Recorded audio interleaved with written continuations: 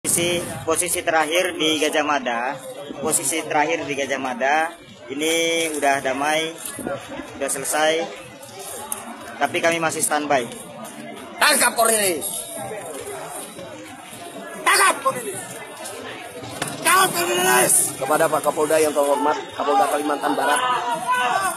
Anda sebagai Kapolda Kalbar yang baru bertugas berapa minggu di Kalimantan Barat, kami sebagai umat muslim mengingatkan kepada Pak Kapolda ini situasi di Kalimantan Barat dalam kondisi yang tidak kondusif. Akibat akibat dari si Cornelis yang melakukan provokasi terhadap umat muslim. Dengan cara berpidato di dalam suatu acara mengakui dirinya sebagai provokator. Dan akan mengatakan akan memimpin dalam hal pengusiran ulama. Saudara Cornelis, Anda sebagai gubernur, Anda sebagai gubernur Kalimantan Barat, yang mana moral Anda sangat bejat sekali. Anda selalu berbicara anti radikal, anti rasis. Ternyata Anda sendiri pelaku daripada radikalisme dan rasis. Kami sebagai umat muslim Kalimantan Barat mengingatkan kepada Anda. Segera Anda bertobat. Segera Anda minta maaf pada umat muslim. Dan tolong hargai proses. Jangan Anda melakukan intervensi kepada Polda Kalbar. Kami mengingatkan kepada umat muslim.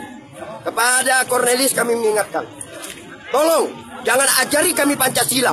Karena Pancasila yang merancang adalah ulama-ulama hebat kami. Saudara Cornelis, jangan ajari kami Bhinneka Tunggal Ika. Karena kami umat muslim memiliki kitab suci yang bernama Al-Quran. kepada kami tentang kasih sayang kepada seluruh um- umat. Jangan ajari kami toleransi. Karena kami umat muslim di Kalimantan Barat dan di seluruh dunia mana pun sangat toleransi kepada umat lain. Anda, Anda, Anda sudah memulai Cornelis. Anda sudah memulai. Jangan coba-coba Anda lari dari tanggung jawab Anda. Sebagai provokator. Kami mengingatkan. Dan kami tidak akan pernah berhenti. Saudara Cornelis, ingat.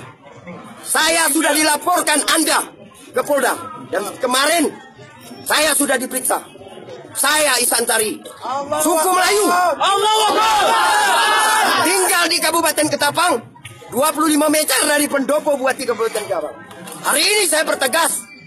Saudara Cornelis belum menjawab tantangan saya. penakut. Saya. Umat Muslim menantang saudara Cornelis duel sampai mati di halaman kantor. Kami menyampaikan kepada Cornelis, jangan kau berlindung di balik ketiak barat. Jangan kalian berlindung di balik ketiak barat.